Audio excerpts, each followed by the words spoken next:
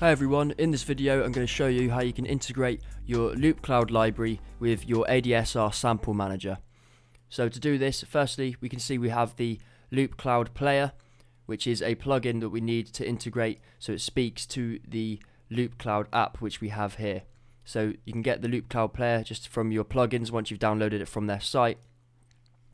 And then if we go across to the Loopcloud app, you can see that we have all of the access to the standard stuff on the Loopcloud and we can go through and then we can either have the files on the cloud or we can also have them downloaded.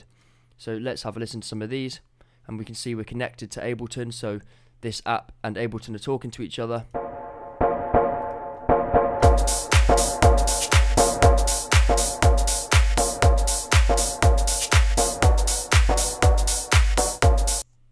So let's say we like the sound of some of these, so let's just go and download a few of them, and I can do that just by hitting download.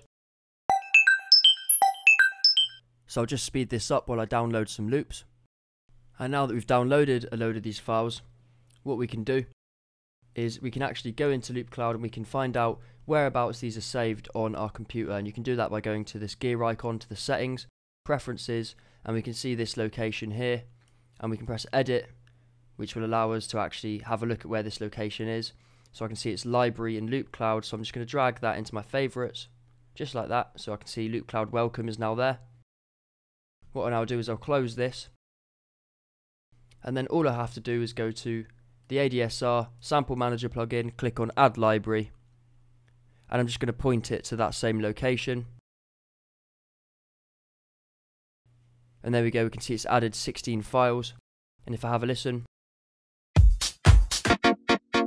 you can hear we've got the same synth chords.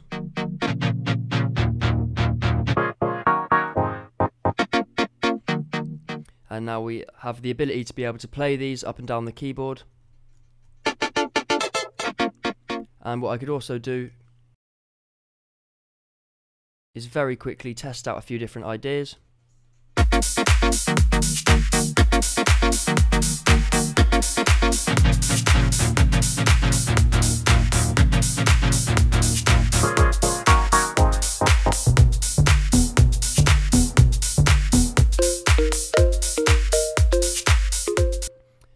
And say if we wanted to download some more stuff from Loopcloud then by all means we could go and do that so we'll just download a few more down, down, down, down, down, down, down, down.